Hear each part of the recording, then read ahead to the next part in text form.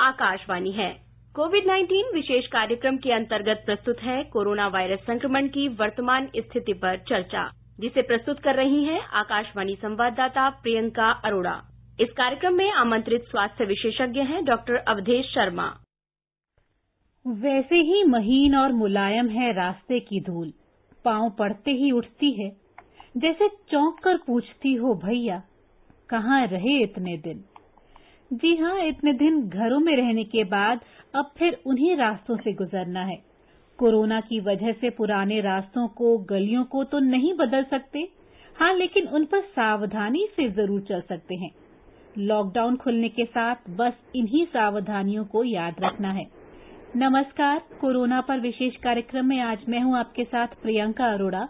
और आपके सवालों के जवाब देने के लिए हमारे साथ हैं मनोरोग विशेषज्ञ डॉक्टर अवधेश शर्मा। नमस्कार डॉक्टर। नमस्कार। कैसी हैं आप प्रियंका जी? और कैसे हैं हमारे दर्शक हमारे श्रोता? बहुत इनके साथ जुड़ने में बहुत अच्छा लगता है। जी हाँ और अब आप खुद उनसे रूबरू होंगे तो आप खुद जान सकते हैं। और अब उनको भी जोड़ लेते हैं। फ़ोन लाइन्स हैं हमारी। एक आठ शून्य शून्य एक एक पाँच सात छह सात टोल फ्री नंबर है। इसके अलावा एक और नंबर है शून्य एक एक दो तीन तीन एक चार चार चार चार। आप हमारे Twitter handle at A I R news alert पर भी hashtag ask A I R के ज़रिए सवाल पोस्ट कर सकते हैं। डॉक्टर अवधेश अनलॉक का दूसरा सप्ताह शुरू हो गया आज। धार्मिक स्थल, कार्यालय शॉपिंग मॉल रेस्तरा खोल दिए गए हैं। तो जिस तरह से सड़कों पर अब एकदम से भीड़ नज़र आने लगी है तो क्या समझें कि लोग घरों में रह रहकर उकता गए थे या कोरोना के भय पर जीत हासिल कर ली है? प्रियंका जी, जैसा आपने कहा कि हम अनलॉक के फ़ेज़ में शुरू हो गए हैं तो मेरे ख्याल से अनलॉक होना चाहिए। जो जो चीज़ें हमारी जीवन में अच्छी नहीं थी, उनसे हमें अनलॉक होना है। जो जो कमियाँ हमारी थी स्वास्थ्य के लिए स्वच्छता के लिए और एक दूसरे के साथ संबंधों के लिए जो कि काफ़ी हद तक और कुछ प्रोग्राम में चर्चा भी की कि किस प्रकार से लोगों को उस दौरान में मुश्किल आई। लेकिन जैसा आपने कहा कि आ, सड़क पे रेस्टोरेंट में ऑफ़िस में आ, एक तरह से लोगों का जाना शुरू हो गया है रुझान तो था ही मेरे ख्याल से बहुत समय से लोग सोच रहे थे कि क्या यही ज़िंदगी है चार दीवारी, क्योंकि हमसे पहले हमने एक बहुत उन्मुक्त जीवन को जिया है। लेकिन एक यहाँ पे बहुत बड़ी इम्पोर्टेंट चीज़ आएगी कि अगर हमने लॉकडाउन से कुछ नहीं सीखा तो फिर ये सारा का सारा जो कुछ भी हुआ, वो बर्बाद हो गया।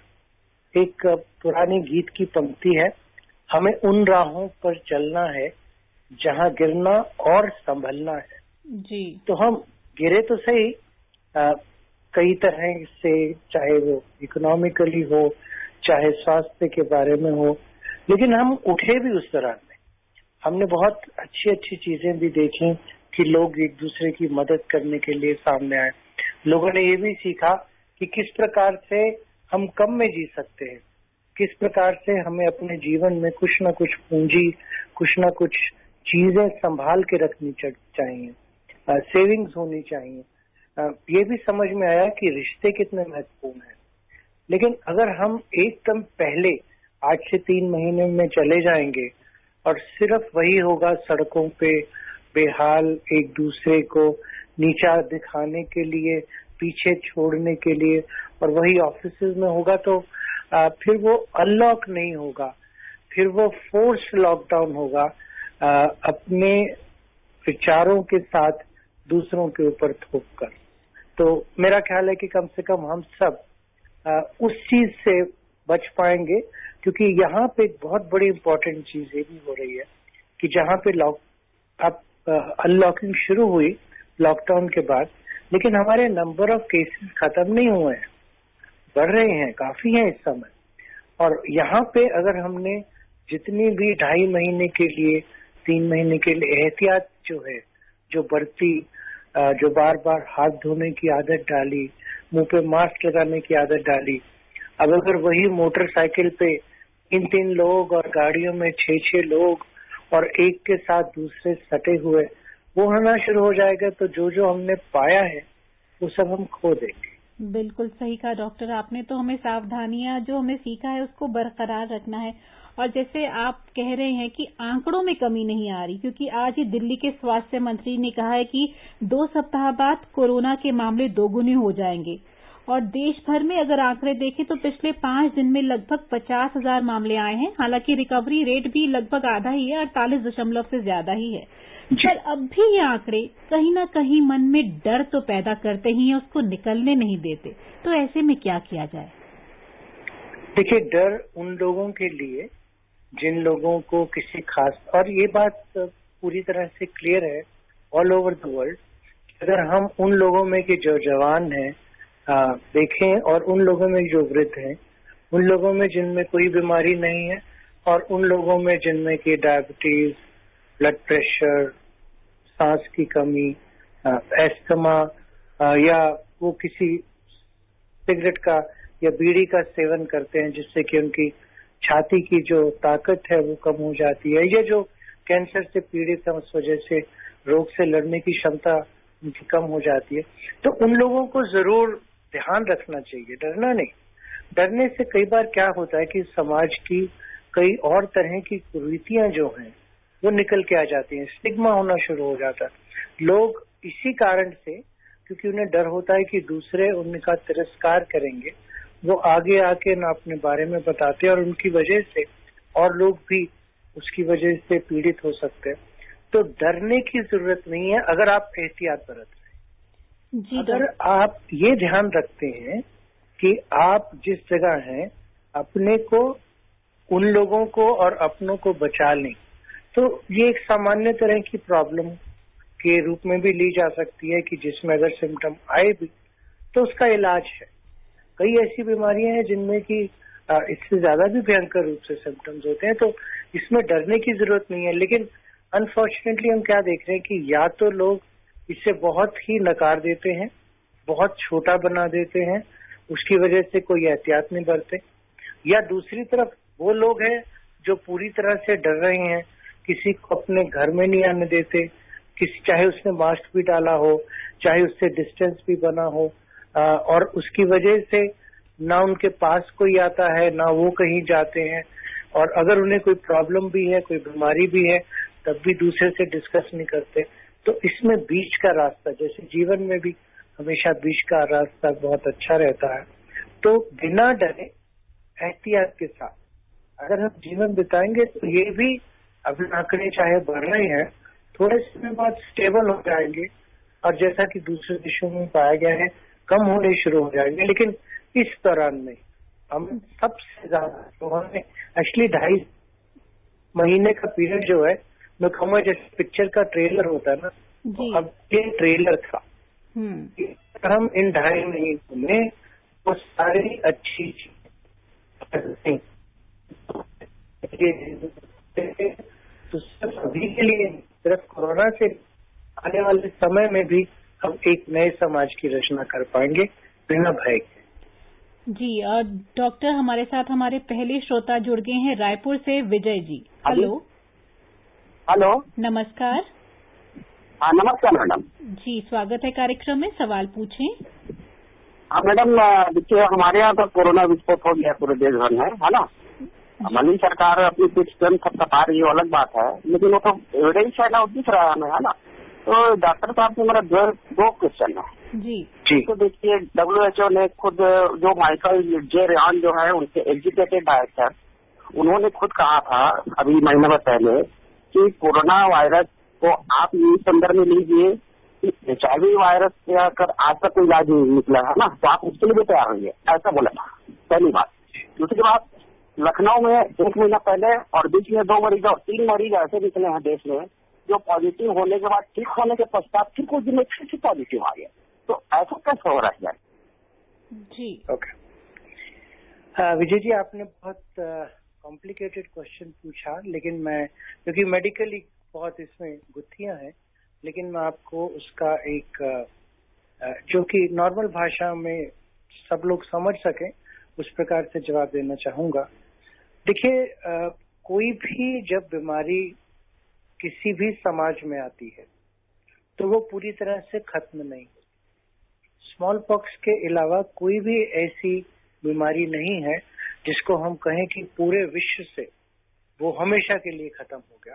कहीं ना कहीं थोड़े लोगों में वो चलता रहता। अगर एक कम्युनिटी की टोटल इम्यूनिटी कम हो जाती है, या वो एक नए रूप में आता है जिसमें कि उसका स्ट्रक्चर बदल जाता है तो जिस तरीके से हमारी बॉडी ने उसके लिए अपनी इम्यूनिटी बढ़ाई है और समाज में वो इम्यूनिटी बढ़ी है, जिसको कि हम हर्ड इम्यूनिटी या कम्युनिटी इम्यूनिटी बोलते हैं तो उसमें कमी आने की वजह से वो फिर से आ सकता है। और इसीलिए हमें हमेशा सतर्क रहने की ज़रूरत पड़ती है। और आमतौर पे अगर आप देखेंगे तो ये केसेस तब बढ़ते हैं जिसके जबकि हम प्रिवेंशन के जो तरीके हैं, उनको अपनाना बंद कर देते हैं। या हमारी रोगों से लड़ने की क्षमता कम हो जाती है, चाहे वो और किसी बीमारी की वजह से हो, चाहे अगर हम अपने शरीर का दुरुपयोग कर रहे हैं, नशीले पदार्थों से, उसकी वजह से हो, या अगर बहुत ज़्यादा तनाव है उस तरह का जीवन आप अगर जी रहे हैं तो तनाव की वजह से भी हमारी रोगों से लड़ने की क्षमता बहुत कम हो जाती है। और अगर आने वाले समय में देखेंगे तो धीरे धीरे धीरे धीरे, जो कि ऑलरेडी कुछ हद तक हो रहा है, कि एक तरफ़ तो लोग रिकवर कर रहे हैं। करीबन 50 परसेंट लोग हैं जो रिकवर कर चुके हैं। क्योंकि उनमें इम्यूनिटी बढ़नी शुरू हो गई।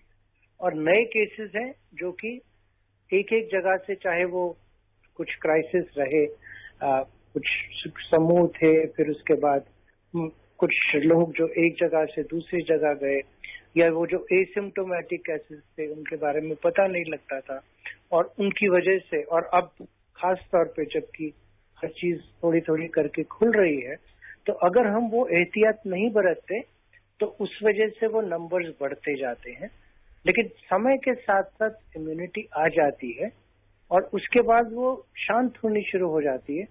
कुछ अगर नई चीज़ों में शुरुआत ना हो, नए नंबर्स में शुरुआत ना हो, या मौसम ना बदले, या वायरस का नया रूप ना देखने को मिले, जहाँ तक रही बात दूसरे आपके प्रश्न की कि वो लोग पॉजिटिव थे, फिर नेगेटिव हुए, और फिर उसके बाद पॉजिटिव हो गए। देखिए, उसके बारे में अभी क्लैरिटी नहीं है पूरी तरह से। क्योंकि ये भी देखा गया है कि शायद उनमें दूसरी बार जब इन्फेक्शन हुई हो तो उस समय का वायरस पहले वाले वायरस से अलग हो। ऑलरेडी ये बात की जा रही है कि अलग अलग तरह के स्ट्रेन बन सकते हैं, जिसमें कि वायरस अपना स्ट्रक्चर थोड़ा सा बदल देता है। और उसकी वजह से, क्योंकि उस वायरस से, नए वायरस से लड़ने की क्षमता उस व्यक्ति में नहीं होती। लेकिन बाय एंड लार्ज जो अच्छी बात यह है कि ऑलरेडी जहाँ पे हम देखते हैं कि करीबन पचास लाख ऐसे लोग हैं जो कि ऑल ओवर द वर्ल्ड इस चीज़ से पीड़ित हुए हैं। लेकिन ऐसे केसेस बहुत बहुत कम हैं, जिनको एक बार ठीक होने के बाद फिर से अटैक आया है।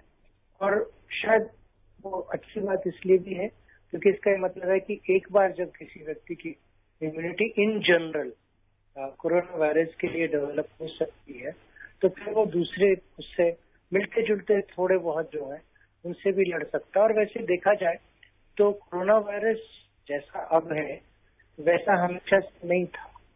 वो पहले भी कोरोना वायरस आए थे, उनका स्ट्रक्चर अलग था। हमारे शरीर में, हमारे समाज में उनकी इम्यूनिटी बढ़ी। फिर वो जब एक नए रूप में आए, या किसी नए चीज़, तरीके से फैले तो उसकी वजह से ये प्रॉब्लम आई। और कुछ समय में बाय एंड लार्ज समाज में इसकी इम्यूनिटी बढ़ जाएगी। और जब वो बढ़ जाएगी तो इक्का दुक्का शायद केसेस होंगे जहाँ पे कि फिर से उनको इस चीज़ में आ, उस चीज़ का वो शिकार होंगे बट अदरवाइज़ ऐसा नहीं। जी हाँ तो अभी मतलब बाय एंड लार्ज आपको अपनी इम्यूनिटी अपनी रोग प्रतिरोधक क्षमता स्ट्रांग रखनी है मज़बूत रखनी है। एक और श्रोता मध्य प्रदेश के रीवा से जुड़े हैं रामजी गर्ग। हेलो। जी हाँ नमस्ते मैडम जी मैं खैर मचियार रीवा मध्य प्रदेश से बोल रहा हूँ राम जी गर्ग। नमस्कार। जी नमस्कार। जी जी मैडम ये हमारा एक क्वेश्चन है। हम्म। कि जैसे छुहारा बादाम दाग मुनक्का से अपनी रोग प्रतिरोधक क्षमता बढ़ाया जाए तो क्या इसका उपयोग किया जाए तो ठीक रहेगा। जी। अब दूसरा एक क्वेश्चन हमारा और है। जी कि जैसे मान लीजिए हम थोड़ा नोट लेने देने का काम करता हूँ तो इसके लिए मान लीजिए सैनिटाइजर कितने घंटे में लगाया जाए बार बार हाथ में? जी। जी पहली बात जो आपने कही कि अ, मुनक्का छुआरा बादाम। इसी बादाम और इस तरह से और कई चीज़ें हैं जो सरकार के द्वारा अगर आप आयुष मंत्रालय की जो वेबसाइट है उस पे जाएँ तो अलग अलग पैथीज में जिसमें कि पाँच पैथीज होती हैं बट आयुर्वेदा योगा यूनानी सिद्धा और होम्योपैथी इसमें जिनमें कि अलग अलग तरीके हैं अपनी रोग प्रतिशोध क्षमता को बढ़ाने के और उसमें खास तौर से गिलोय, तुलसी, दालचीनी लौंग, इनके प्रयोग की भी बात कही गई है। देखिए, ये ऐसी चीज़ें हैं जिनको कि सही रूप से अगर लिया जाए और नॉर्मल मात्रा में लिया जाए। अनफॉर्चुनेटली कई बार क्या होता है कि व्यक्ति ये सोच के कि जितना ज़्यादा खा लेंगे, उतना अच्छा होगा। और वो बहुत ज़्यादा सेवन किसी चीज़ का करना शुरू कर देते और वो बात उल्टी पड़ जाती है। तो बैलेंस तरीके से कई बार बनाया, बताया जाता है कि काढ़ा कैसे बनाए सही रूप से। या अगर आप थोड़ी थोड़ी मात्रा में इनको गर्म पानी में डाल के पीते हैं तो उससे आपकी प्रतिरोध क्षमता बढ़ती है।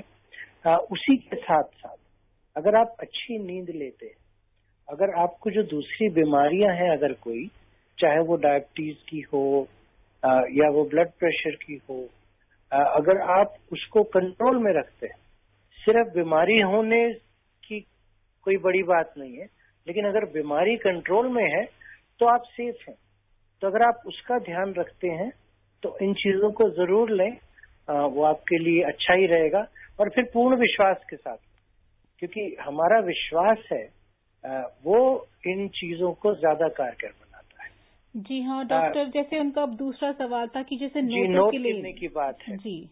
अ, मैं तो ये कहूँगा, राम जी साहब, की आप जैसा काम हर किसी को मिले, अगर आज के समय में लोगों को तो यही चाहिए, वो चाहते हैं कि साहब मैं नोट गिनने वाला बन सकूँ। पर वो एक छोटा सा मज़ाक था आपके साथ। देखिए बहुत इसके बारे में शोध हुई है। सिर्फ़ नोट गिनना ही नहीं कि किस चीज़ को हम छुएँ, कितनी देर तक उस पर वायरस रहता, वगैरह वगैरह।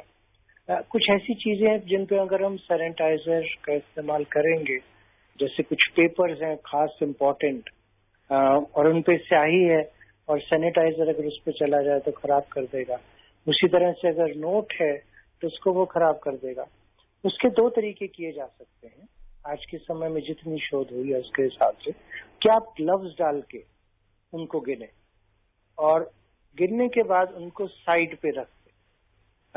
और करीबन 24 घंटे से 48 घंटे अगर आप उनको साइड पे रख पाएँगे। कई लोग हैं जिनका कि इस तरह का काम है कि एक तरफ़ से लोट लिया, दूसरी तरफ़ से दे दिया तो वो सर्कुलेट हो सकता है। लेकिन एक उसमें बहुत बड़ी खुशखबरी ये भी है कि इस तरह से लोगों में संक्रमण ऑलरेडी ऑलमोस्ट नील पाया गया। इस तरह से संक्रमण बहुत लोगों में फैल गया, ऐसी कोई कहीं से भी रिपोर्ट्स नहीं आई है। ये चीज़ सिर्फ़ एहतियात के लिए है। और अगर आपने नोटों को गिना है तो आप खास तौर पे अपने मुँह के ऊपर, होठों पर, नाक में या आँख में हाथ को ना लगाएँ। अगर आप ग्लव्स डाल के कर रहे हैं और मुँह पे आपने उस समय मास्क डाला हुआ है ताकि मास्क सिर्फ़ दूसरों से बचाने के लिए नहीं हमें अपने से भी बचाने के लिए ताकि हमारे हाथ जो है अगर उनमें भी किसी तरह के जम्स हैं तो वो हमारे आँख नाक या मुँह तक ना जाए। तो अगर आप उस चीज़ से अपने आप को बचा सकते हैं तो आपको इस चीज़ में ज़्यादा परेशान होने की ज़रूरत तो राम जी आप बेहिचक आप इन सुझावों के साथ अपने नोट आराम से गिन सकते हैं। है बाड़मेर से जुड़े हैं? कृष्ण जी हेलो। हेलो नमस्कार। नमस्कार। नमस्कार। नमस्कार सर मैं किशन बोल रहा हूँ डॉक्टर साहब नमस्कार। जी नमस्कार। नमस्कार, सवाल। पूछें। मैं किशन बोल रहा हूँ गाँव घुमाने का तला तहसील चौहट जिला बाड़मेर से। जी। जी। मैं ये पूछना चाहता हूँ हम जब बाहर जाएँगे मजदूरी पर तो कभी तो बस में चढ़ना पड़ता है कभी तो ट्रेन में चढ़ना पड़ता है तो हम क्या सावधानी बरतना चाहेंगे? देखिए दो तीन चीज़ें हैं जो आप हमेशा ध्यान में रखें। पहली चीज़, अगर आप आजकल डिस्पोजेबल ग्लव्स आते हैं, महँगे नहीं होते हैं, एक जोड़ी वैसे ग्लव्स जो कि एक ही बार के लिए इस्तेमाल किया जाना चाहिए, वो पाँच से सात रुपए में आ जाते हैं। अगर आप, और उससे फ़ायदा ये होता है कि आपको मान लीजिए वो हैंडल पकड़ना है आप सीट को छू रहे हैं तो आपके हाथ से वो जर्म्स आपके मुँह तक नहीं पहुँचेंगे। दूसरा मास्क हमेशा डालें क्योंकि मास्क से आप अपने आप को तो बचा ही रहे हैं। अ, क्योंकि दूसरों से आपके जर्म्स नहीं आ रहे आप दूसरों को भी बचा रहे हैं। तीसरा जहाँ तक हो सके मान लीजिए आप किसी बस में चढ़ रहे हैं और मालूम है कि पंद्रह मिनट में दूसरी बस आ जाएगी और इसमें बहुत ही भीड़ है एकदम खचाखच भरी हुई है। तो आप उसे अवॉइड करें। आप दूसरी बस में जिसमें कि थोड़ा सा लोगों में आपस में डिस्टेंस हो अ, एक दूसरे से दूरी बनी हुई हो अ, वो अगर आप करते हैं अ, और फिर आने के बाद कपड़ों को अलग रख दें नहा लें और खास तौर पे साबुन लगाकर क्योंकि साबुन लगाते ही बीस सेकंड के अंदर वो वायरस पूरी तरह से खत्म हो जाता है। और बाहर से जब भी आप आए तो दूसरे किसी घर वाले व्यक्ति को छूना या दूसरे के बहुत साथ बैठना, उससे पहले आप नहा धो लें तो और उसके बाद घर में आए, या दूसरों से बात तभी करें जब आप नहा धो चुके हों, ताकि बाहर के वायरस आपको और घर वालों को बचा के रखें। तो अगर आप इन चीज़ों का ध्यान रखते हैं और उस दौरान में एक और चीज़ करें कि प्रतिरोध क्षमता को बढ़ाने के लिए, आज के समय में गर्मी बहुत हो रखी है, पानी ज़रूर पिए। और पानी अगर नॉर्मल टेम्परेचर का पी सकते हैं तो ज़्यादा अच्छा है। ज़्यादा से ज़्यादा अगर आप पिए और गर्म पानी भी आप दिन में ले सकते हैं या ग्रीन टी या हरी चाय जिसको बोलते हैं, वो भी इसके लिए बहुत अच्छी सिद्ध होती है। तो अगर आप इन चीज़ों का ध्यान रखते हैं और अगर आपको तीन चार चीज़ें करनी है तो एक बार में करने की कोशिश करें। बार बार छोटी छोटी चीज़ के लिए ना जाए। तो अगर आप ये प्लानिंग करते हैं तो आप इससे आसानी से बच सकते हैं।